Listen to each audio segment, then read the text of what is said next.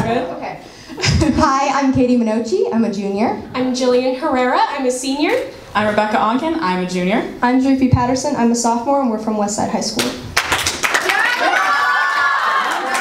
Yes, we are. Thank you. Oh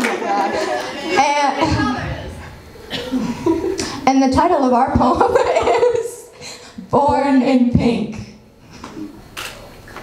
This is the before. When stereotype was just a really long word. Our bodies were normal. Pink clothes were companions. This is the time when culture taught us how to be so soft. This is the before. When we were learning and perfect. Just the way we were. I always wanted to be a princess. I watched Disney movies. Like they were gospel. I learned to dance across the living room floor clad in a Cinderella dress I wore for four Halloweens. I twirled around, slipping on the carpet and colliding with couches, but I didn't care. I was Cinderella! I was bright and silly and golden. I a girl, christened in pink tones and princess lessons. They drown me in pink. But suffocation could never keep me from adventure. Each Sunday was a thrill. My best friend and I had competitions. Every leap, dive, and roll he did, I did better. I would go home in a mud splattered dress with gaping holes. But it wore my family down.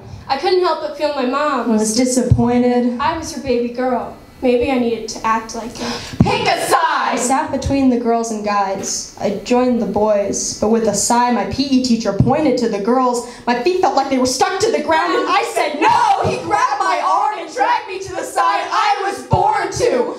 Dysphoria followed me into the locker rooms where I couldn't bring myself to change in front of others. I could never follow the rules of, of either side.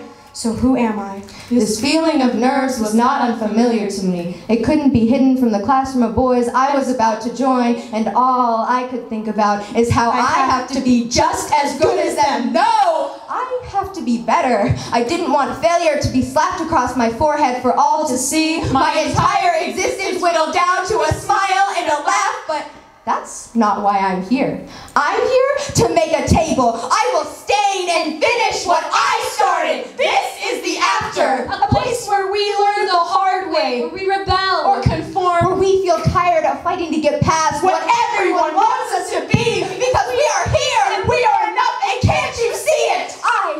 redwood, spiraling lumber limbs and deep rouge roots digging into the earth. Despite me changing, I'm still a girl. I never needed to pick a side. Although born in pink, I walk in blue. I am done forcing myself into someone I don't want to be. And you know what? My mom has not once been disappointed in who I am. I was guilty because I conformed to the classic form of woman.